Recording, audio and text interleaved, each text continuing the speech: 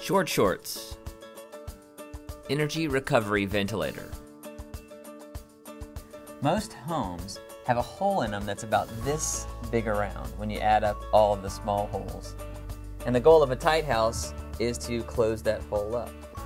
The problem with a tight house is that then you have a decreasing quality of the air inside the home. So we need fresh air. So we actually want to make a new hole that's about this big, but we want to control that airflow. And that's done with a device called an ERV, or an Energy Recovery Ventilator. How does an ERV work?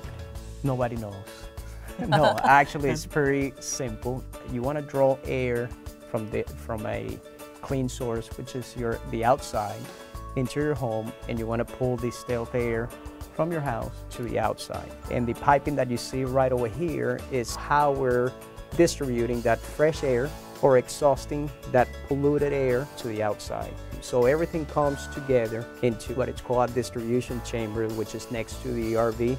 The two channel ERV pushes the stale indoor air out one side while bringing fresh outdoor air in the other. In the process, both air masses pass through a heat exchanger, allowing the outgoing air to warm or cool the incoming air, depending on the season.